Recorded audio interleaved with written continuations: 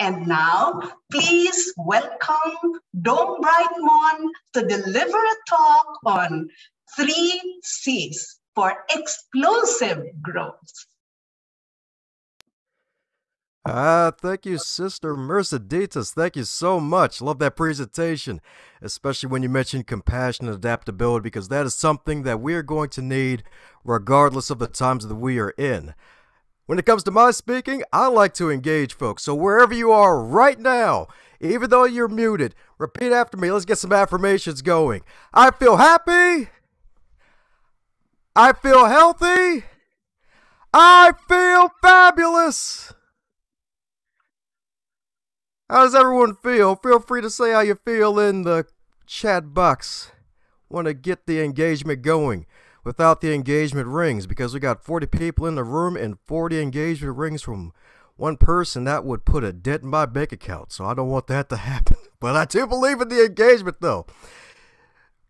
Thank you, Dr. Mansur, for this opportunity. More importantly, bring inner greatness out. If you're going to bring inner greatness out in this year and beyond, no matter where you are, where you're from, what you intend to do in the future, forevermore, you're going to be needing to have these three wonderful C's I'm going to share with you. There, these are three C's for explosive growth because they've helped me in my life, they've helped many others in their lives, and it will help you listening right now.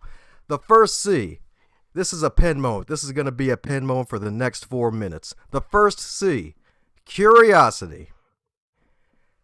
Curiosity. Some say always be closing, some say always be connecting. In addition to that connection, you have to also be curious. When it comes to curiosity, ask yourself a powerful question How can I?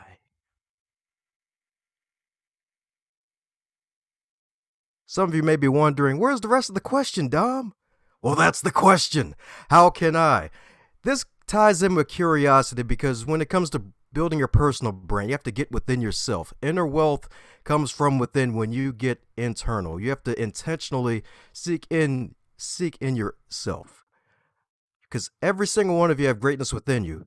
Even during the networking break about a good 80 minutes before we officially began at 8 p.m. Eastern Standard Time, one of the attendees popped in and said, "Hey, I'm I'm pretty much uh, Jill of all trades." Said she was a lady. Can't really call her Jack. Don't want to offend nobody. And that wasn't even a name, period. But she also made us laugh during the networking break before more of you came into the Zoom room. Humor is one of the greatest tools if you're going to bring your inner greatness out because if you can make people laugh, you can make them buy. If you can make them laugh, you can help them to heal from their situation because one of the greatest things you can do for someone is to help them have a laugh if they haven't laughed all day, all month, or all year. C number two commitment. Commitment. When you're curious about yourself and your greatness, once you find that greatness, take action on what you can do. Another question you can write down. I said this is going to be a pen moment for the next four minutes. Question number two you can write down is how can I add more value to more people in less time? How can I add more value to more people in less time? One of my mentors gave me that question about a good, I can't believe, almost seven years ago now.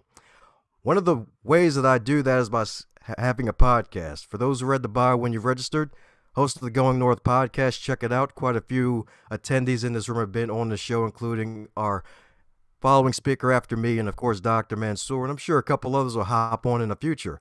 And being able to highlight fellow writers who put pen to paper and join the business of immortality is a great way to add value because they get a platform to get their voices out there and shared with the world. And they get to have a piece of content that they can promote forever. The third and final C consistency. Being curious is a great thing, but it's one thing. You have to follow up that curiosity by being committed, taking action. And once you take action, always be consistent with that action because that will set you apart.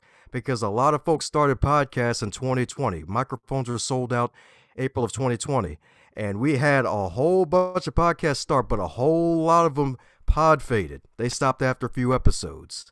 And when they stopped after a few episodes, they had to get back to their job and their regular work, but I kept going and a few others kept going. So if you want to bring your inner greatness out, always be curious, always commit to taking action, and always being consistent no matter what.